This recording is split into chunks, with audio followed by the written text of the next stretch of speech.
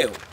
And if you blind, I don't mind, I spit in braille. What? Jump in the pit of hell and snip the devil's tail. Uh-huh. You can own your own ship and still never sail. That's why I'm about to take flight like a parasail. Okay. And these rappers about hype who tell the tallest tale.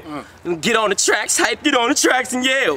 Probably strip butt ass for your record to sell. D'Angelo, no Michelangelo, repaint the Sistine chapel though. Get your asses soaked from this pit of acid flow. Spit acid so Mortal Kombat, reptile. Bullet to your head, then your wife and your stepchild.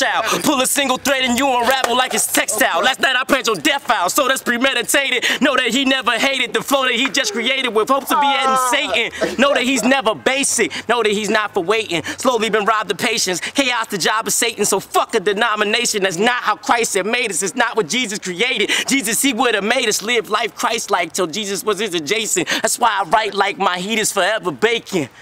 Writings on my walls, cause demons up in my basement. In the glass house like the 13 ghosts. Man, they spit his raps out, it probably hurt their throats to take a profit to say it how he said. And the job of the prophet is that he's hated till he's dead. And part of the problem is trying to save him, but they scared. They scared to see a change. Corruption's in their brains. So much that was insane when this world is crazy. Babies having babies, make ham on the daily. The weak are yelling, save me. Or the strong are saving themselves.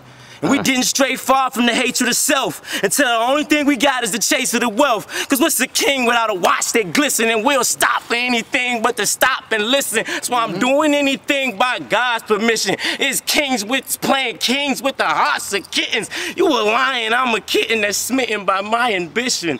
And nothing's more expensive than a mind on a mission. Uh-huh. To the end, you a witness by God's intervention. So listen to the scriptures that the prophet is script. Nigga. Hey, hey man, he will make